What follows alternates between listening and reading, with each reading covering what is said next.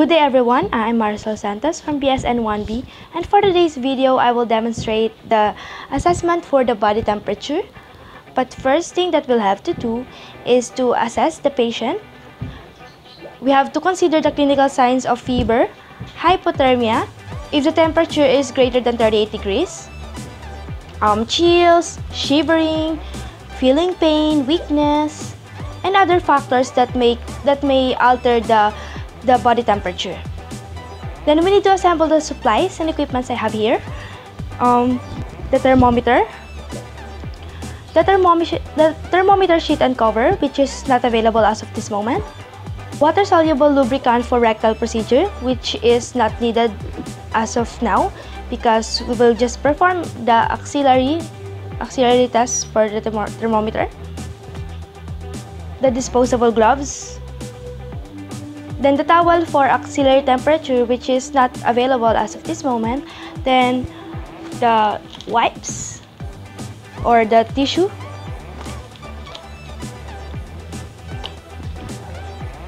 Then you will have to introduce your name, speak with the client of what am I going to do, why it is necessary and how the client can cooperate. So hi ma'am, I am Marcel Santos, your student nurse for the day and I am here to check your body temperature. Um, I just need to check if there's a problem with your body. So if there is, um, we can prevent it as much as possible. I'll have to ask a um, few questions regarding yourself and you just need to answer it honestly. Is that a great deal, ma'am? Yes. So to verify the client's identity, you will have to ask the name and age of the patient. What is your name po? Rosalinda Santos, And your age po please? 74. Thank you so much.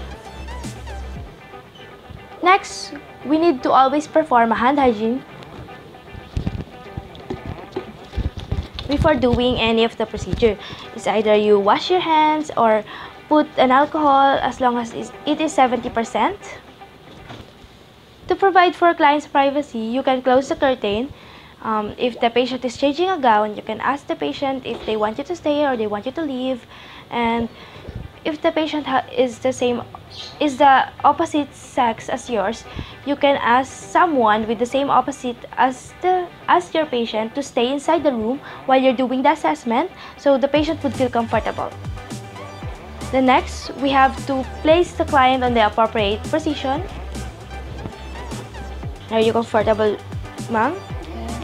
okay then let's clean the temp the thermometer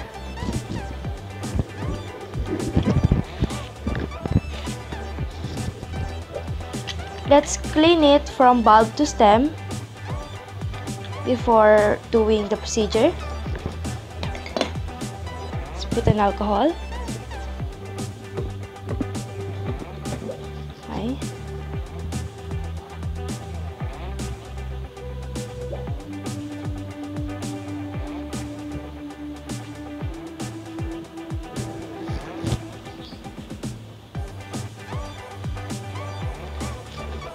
you have to always discard this.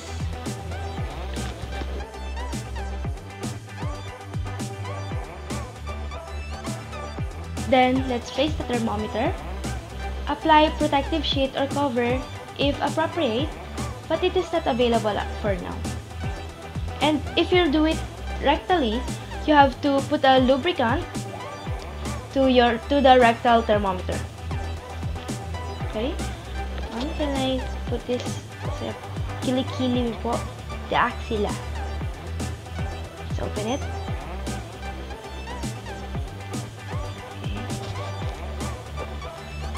Where's your kilikili, ma'am?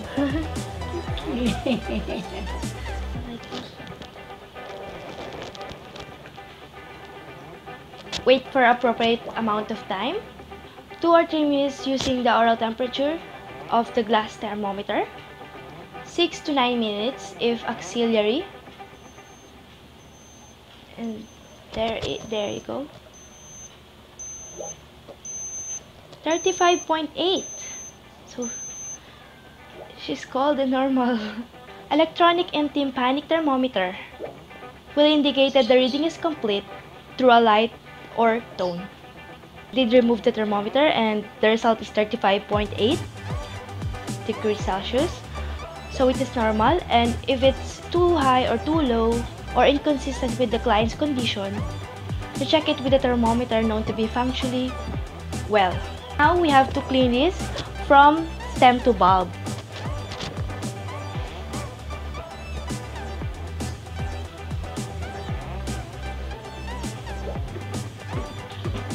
Clean it on a circular motion.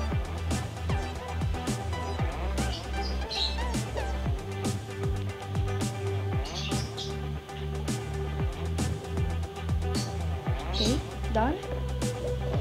Lastly, we have to document the client. We have to document the client's finding on the client data.